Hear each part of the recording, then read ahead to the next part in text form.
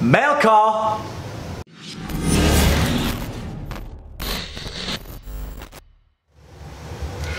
All right, so what do we got here? Let's open her up real quick, make sure I don't cut into something. Before we get into it, let me take a quick minute to plug my favorite opening device ScrewPop uh, blade, basically, that can be replaced with any kind of blades. Excuse the rusty blade. This one's old in here, uh, but I use this thing pretty regularly, and they're like 10 bucks on Amazon.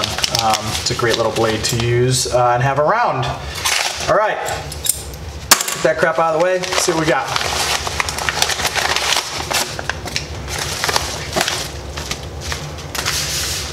Okay, so looks like we have new wallet from my good friends at Airo Collective. Uh, Steve there, uh, and if you're familiar with Airo Collective, we'll open this in a second. Uh, back to them on Kickstarter when they had their stealth wallet, the Razor wallet, and here it is after about a year's worth of wear.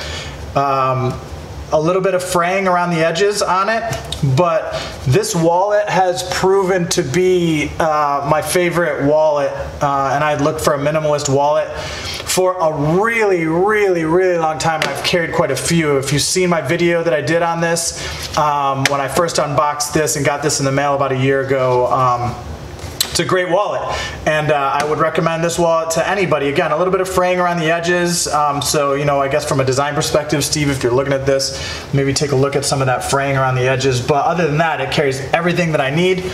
Does not give me the Costanza wallet, and I really like that. So. I'm gonna open this in a second, but the folks at Airo Collective sent me one of their leather wallets. Uh, and as you can see, if you can read this, it looks like it's in the midnight color.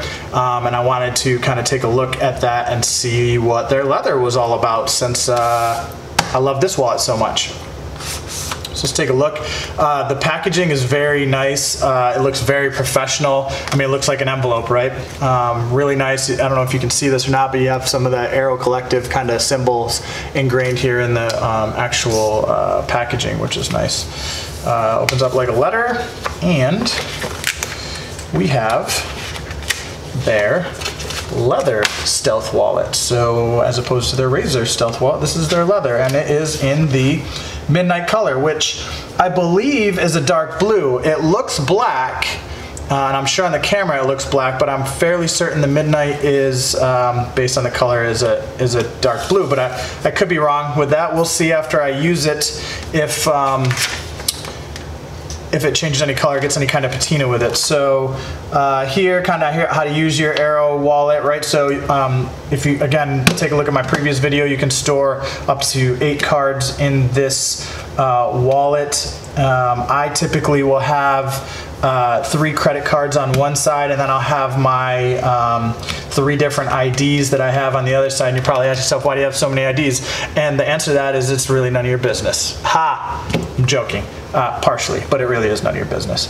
Uh, so it holds those perfectly. I didn't max it out with um, cards. I have three on each side, and then I have um, the elastic in the middle here, which they have on the leather version.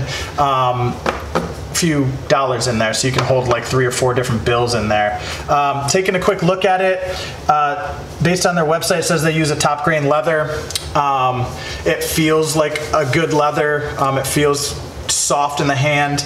Uh, the stitching is single stitching around it. It looks um, fairly nice. We'll see again if that frays it all over time. I kind of have a suspicion it may, but we'll take a look at that over time. Um, you have uh, basic some inserts here to kind of show you uh, some of the features of it. So it is RFID blocking, says adventure ready. Uh, not exactly sure what that means. I guess it's probably very tough to tear um, and uh, rip apart. Uh, ultralight, made to last, ballistic material, uh, minimalist design, obviously, and possibly thin.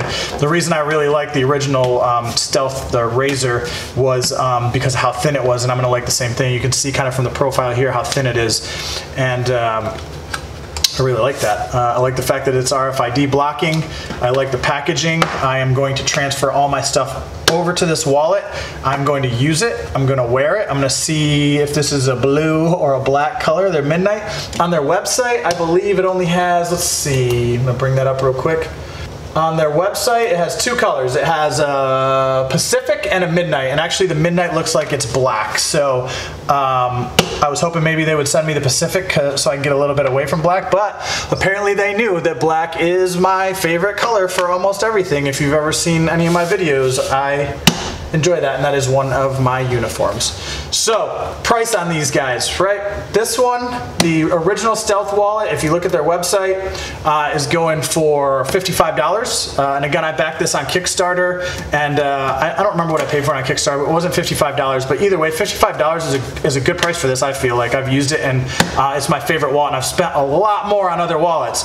And their leather wallet is $115. So, about double the price of their Stealth Razor. Now, from my perspective, again, as a general user, I'm not exactly sure what justifies double the price other than possibly the manufacturing process we interrupt your regularly scheduled program to bring you breaking news. I'm Alex Roundhouse and we have just received information as to why the cost of this leather wallet is double the price of the regular Stealth wallet. According to Jake, who is the chief operating officer, the leather is premium grade nappa cowhide from an Italian tannery that's recognized as a leader in sustainability. This alone is the reason for the bulk and cost difference and they don't stop there. They actually buy bond it to the fibers that are 15 times stronger than steel for even greater longevity. And at the end of all of this, it's edge coated in the finest quality edge paint on the market, and it's a very delicate process. There you have it, breaking news, back to your regularly scheduled program. I, I like this wallet and I really enjoy the, the the actual design of this wallet coming from the Airo Collective folks and so don't get me wrong I probably would have bought this anyways. Um, and truth be told this was given to me by those folks there to kind of do a review and do a quick unboxing on it and I, I actually certainly appreciate that. So um, yes of course I'm a little biased um, on that but the wallet actually is great the original one that I paid for out of pocket. So um, do some research for yourself. Take a look at the Airo website. Um, take a look at my other videos video. Um, I have some more details on their original wallet. And I thank you all for watching and I appreciate your subscriptions if you got an itch to scratch, you know, it never hurts to reach out to people and ask them sometimes. I actually reached out to them and said, hey, would you mind shooting me one of your leather wallets so I could wear it, maybe do an unboxing and do a review on it. And um, I'm gonna like this wallet, honestly. I like the stuff that comes out of them. So scratch your itches, ask some questions, have some fun. I'll see y'all later.